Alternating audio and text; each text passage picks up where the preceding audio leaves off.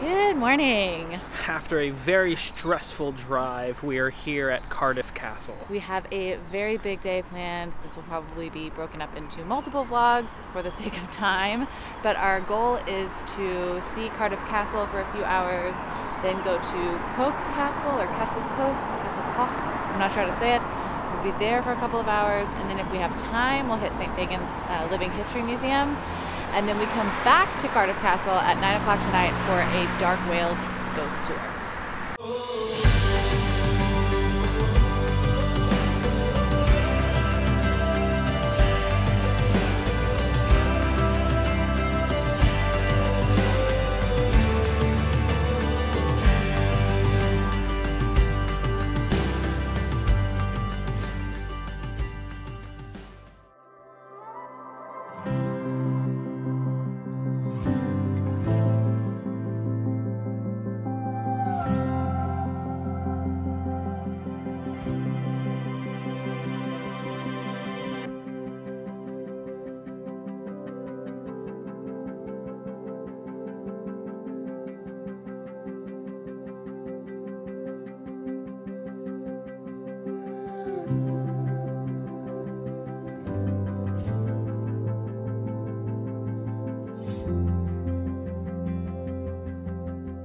This place is huge. We're going to try to see it as much as we can. Unfortunately, we found out that the clock tower or the bell tower, I don't remember which it's called, is actually only opened on weekends, I believe she said.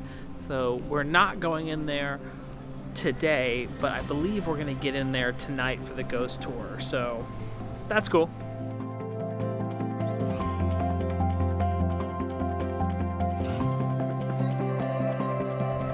Billy already said, there's so much to see here. There's almost 2,000 years of history from the Roman occupation to the Norman conquest up through World War II when they were using the castle walls alongside air raid shelters during the bombings. It's fascinating. I hope we get to cram it all in.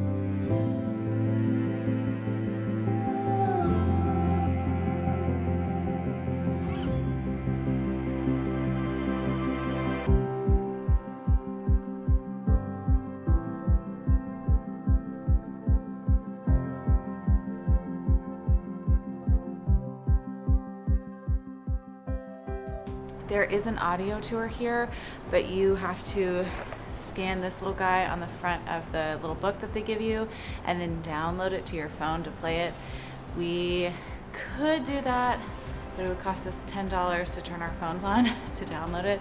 So for now, we're just gonna go explore and hope that there's some information boards that we can read along the way. When you're walking along up here, if you notice the drain pipes, they all have different animal faces on them, which is pretty cool. Definitely take a look if you're up here.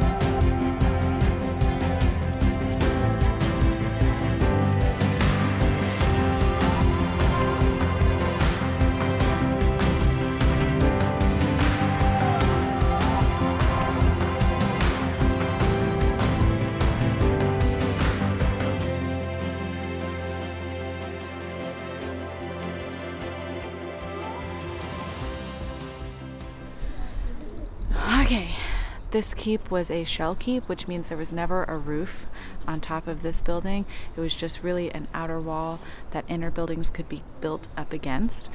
In the Civil War, it was held by both the king's people and Cromwell at different points in time, but eventually it was destroyed beyond repair, and there lay its ruin. Um, I'm guessing when the third Marquess of Bute built his house or was granted this or whatever. We haven't really gotten to the history of that yet. That maybe he kind of did some repairs on this. I'm not sure. This board doesn't say. I'm sure it's in that blasted audio guide that we haven't downloaded yet. Also, in the interior walls, you'll notice a bunch of holes. These are known as put logs, which are places where you can put logs to build buildings. There were some rooms built into the walls of the Shell Keep, like this one. This would have been part of the main accommodations for the lord of this castle. Again, everything was destroyed during the Civil War. The floors in this room were not put in until the 1920s by the fourth Marquis of Bute. And also your own private toilet.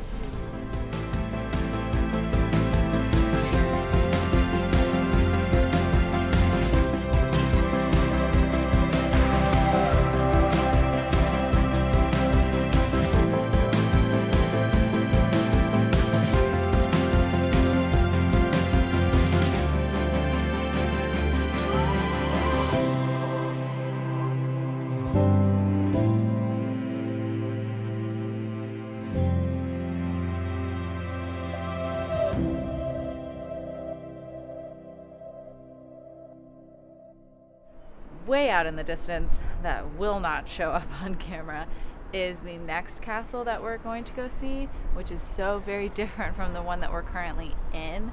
The thing that I find incredible is that the parkland of this castle goes way out to that one. That's that castle is just beyond where the parkland of this estate ended.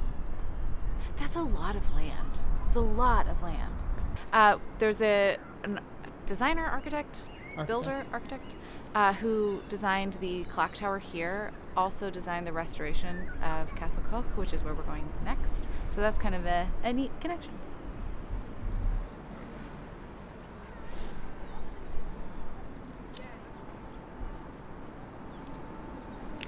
That's pretty much it for this part.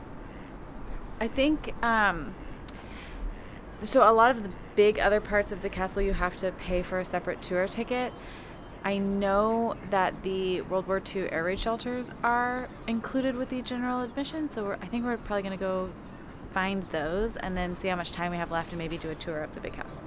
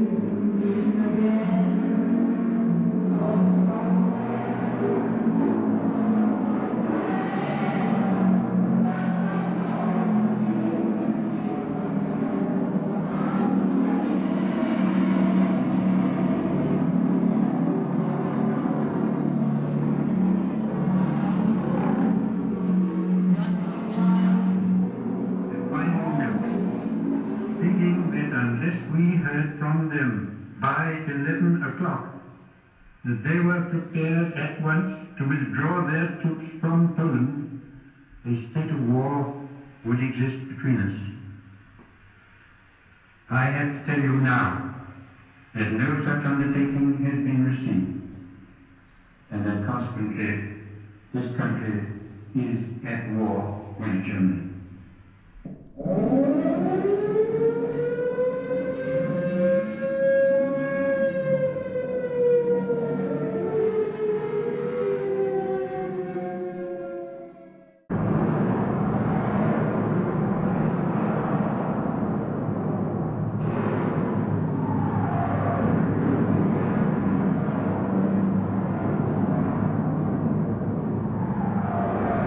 Such a fascinating part of the castle because it's, such a drastic difference from the Norman keep that you're in to the World War II air raid shelters that were put in. Thankfully, the uh, I think it was the fourth Marquis of Bute, could be the fifth, I'm not sure, agreed to let the city do this. Hundreds of people would have sheltered here during air raids and those types of things, and it's just a history loving heart just finds it incredible. We entered the World War II air raid shelters over here. Then we walked through them all the way around till we came out right here. We're up on the battlements now, so I guess we're just gonna walk that back around the other way. Also, the sun is out right now and it feels really good. It's warmer than it was yesterday. It feels phenomenal. And one more thing, just on the other side of this wall is Bute Park, which was a bunch of land that the Marquis of Bute then gave to the city to turn into a parkland for the people instead of keeping it all to himself. And it's gorgeous and it's just over this wall. And hopefully later today, while we're waiting for the Dark Wales tour to start, we're gonna go check that out too.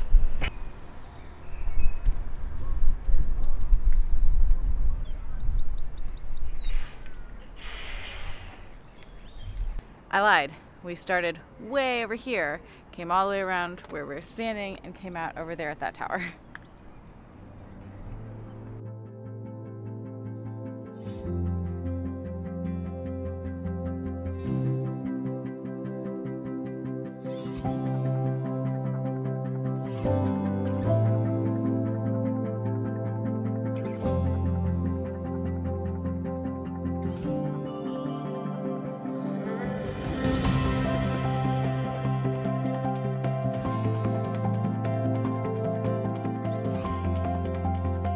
We went ahead and bought tickets for the 12 o'clock house tour. We're gonna do that in a few minutes. Also, the way that the grounds are set up, you can kind of like walk through from the park on one side out to the street on the other, and you don't have to pay to get into that. But they do ask for you to show your tickets if you want to get in to see the castle or the uh, bunkers and those kinds of things. So it's kind of like a weird half open system. The other part is that if you want to get into the clock tower or the house or another like film thing that they have, that's all extra. So be prepared for that as well.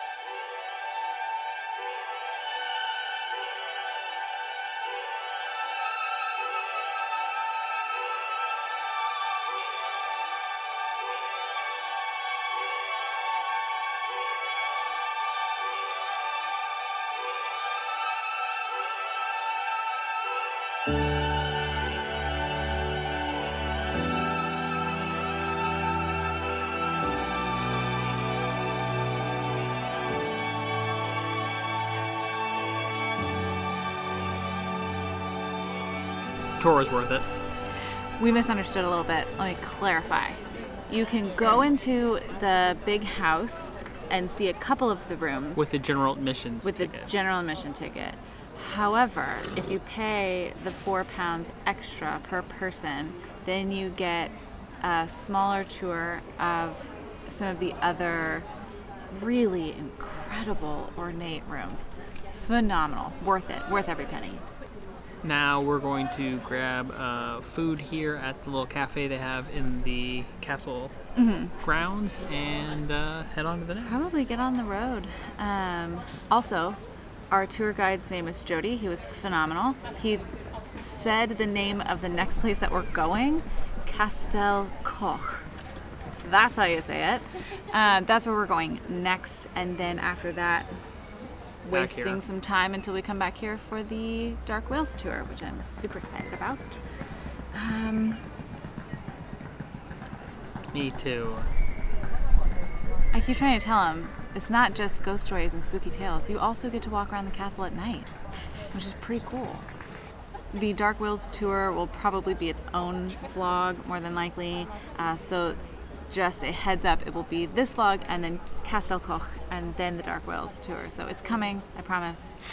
Just bear with my slow editing. Thank you.